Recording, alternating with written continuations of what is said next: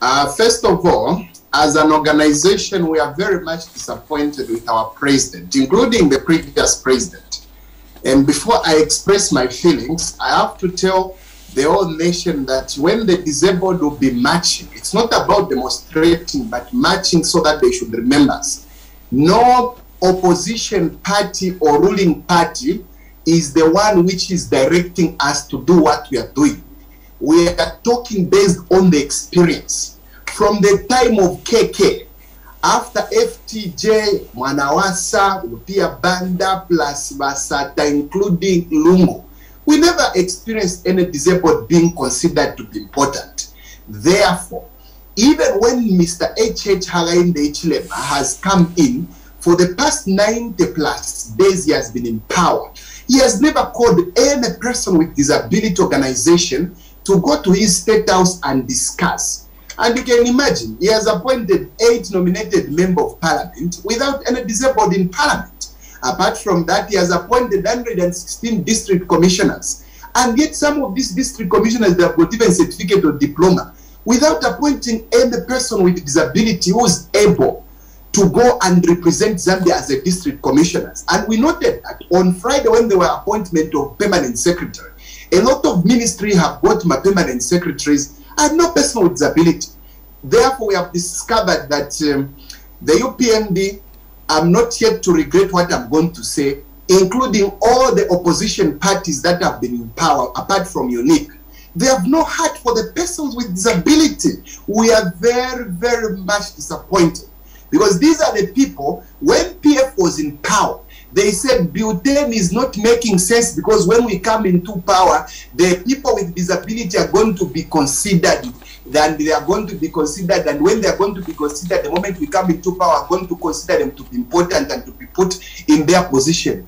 Unfortunately we haven't been put in that position.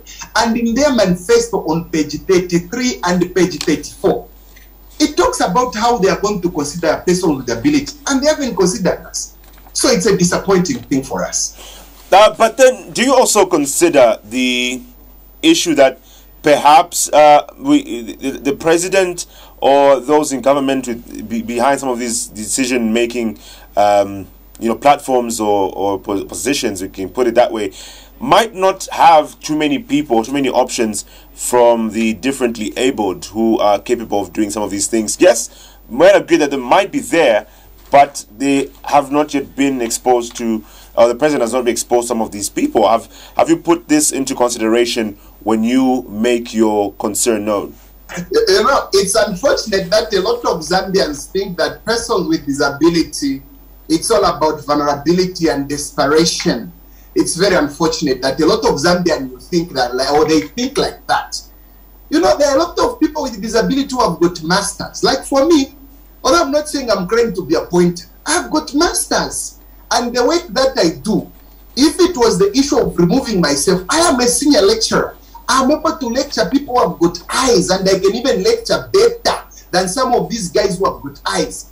Before I was a teacher, I went to universities where they are normal, like University of Zambia. I was at Nkrumah. I even went outside in South Africa. So, so you see, there, are even people who are more educated than me. There are people who are doctors who are in wheelchairs. And apart from that, we have got even people who are deaf, who have, who have got degrees. So you see, it's just unfortunate Zambians, when they see people with disability, please, Zambians, you should be very focused. When they see people with disability, what comes into their mind ni chifundo, uluse.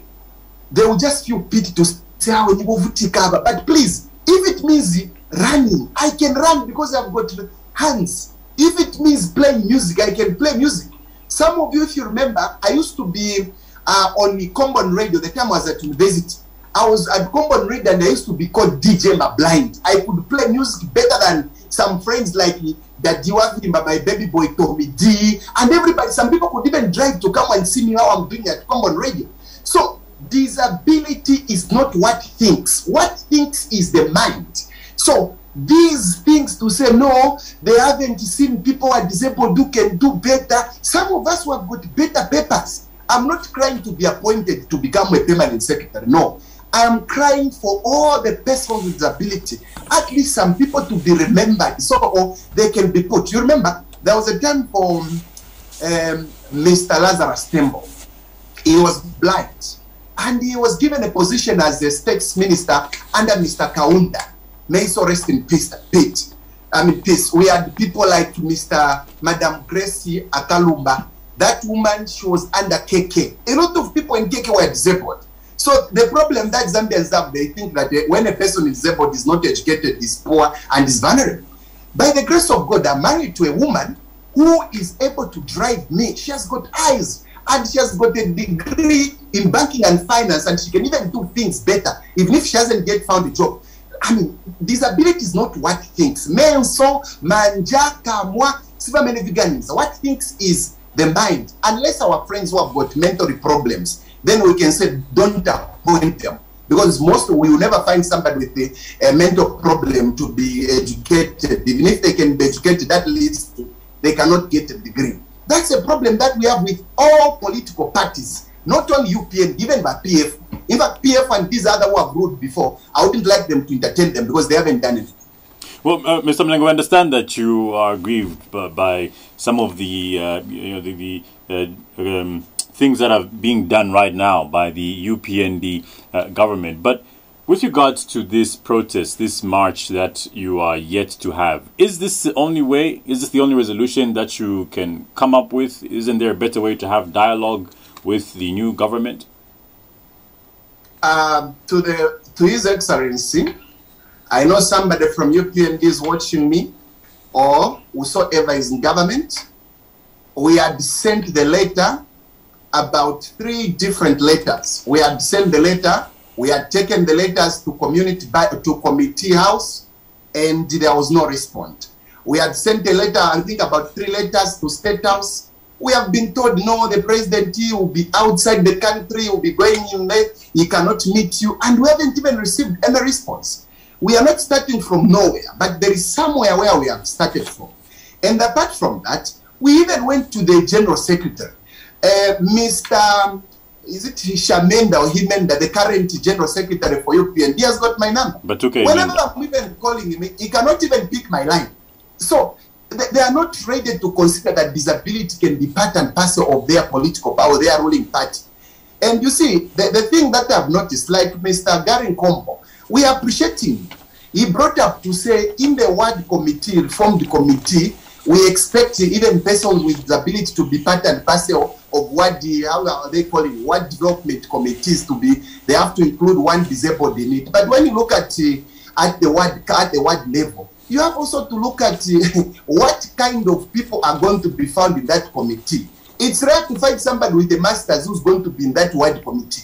They will just pick maybe manzanga manzanga vakuchipata vaja kuti sopunzira negrade 7 grade 9 maward level. Mp may not even come and meet such people. So it's important that we, what we want is for them to put the disabled even at higher level. Because when I, when I go to vote, my vote won't be counted to say is a disabled, this vote is going to be given half. No, the vote is going to be big. And apart from that, what people should also put in their mind is that if, for example, me, I'm 33, 34, I thank God I was born blind. And if it means coming to see at the moment, I don't want to say, I enjoy it just like this. God is powerful so that people they should know that a blind person can do something better than sighted colleagues. You see, if a person who's blind like me is appointed at the age of 33, that means a youth has been appointed and the disabled has been appointed. So it means he has done a double thing. If a woman who's disabled has been appointed, it means it's a double thing. A woman and a disabled has been appointed. And those of you who are journalists, I'm trying to, I'm not even trying, I would like to challenge you from the time His Excellency started addressing the Parliament, I'm not going to talk about these other excellencies who have left because we haven't seen them talking about disability. You, you discover that he has never talked about a disabled and how a disabled are going to be helped. Or what they end up, they end up on youth, women, youth, women, youth. But what about us? Uh, Where let, us let's conclude with uh, the march or the protest that you, you plan on having as the differently abled. Uh, tell us about this, when it's uh, scheduled to take place, and what the events are expected to be. Well, this march, where it is going to take place, I want to tell the people that we are not forcing His Excellency to give us position but we are reminded that we are in the, we are also part and parcel. And apart from Zambia is a signatory, I'm coming to the match. Zambia is a signatory to United Nations. And in 2012, they signed under the law to say disabled people should be recognized. And this a constitution, although it hasn't given a domesticated to give the, a, a will to say whether a president wants or not, he, he can put a person with disability. It's not like the way it is with our women where at the constitution level they say at, at least 30 people or 30% people must be women. But disabled has also been part and parcel under the United Nations. We are asking for the presidents, those who are advising the president, to say His Excellency must show the willingness to say these people are disabled, I also love them. You remember during the campaign time, right? You could see the president, the, His Excellency Mr. Hakainde Hichilema, could find himself with disabled and even even have interaction. But from the time he became the president, yeah, we have never seen such a thing. Our colleagues who are you who are PF, it was almost the same. So how we are going to do is we have applied to the police, they have accepted, they have given us. We are going to start marching from the uh, cabinet there. Then we'll be moving until maybe we reach up to State House. We are going to have banners and we are going to do during the day of International Day for the Disabled on 3rd December. The reason why we're going to do on 3rd December is that um, on 3rd December, we are calling upon all the disabled not to attend the International Day of the Disabled, but to march. And the march is not going to be shouting to say, hey, give us job. Ah, ah, ah, We have to match a humble match so that the president and even the vice president, they should know that persons with disability, they are also in the nation.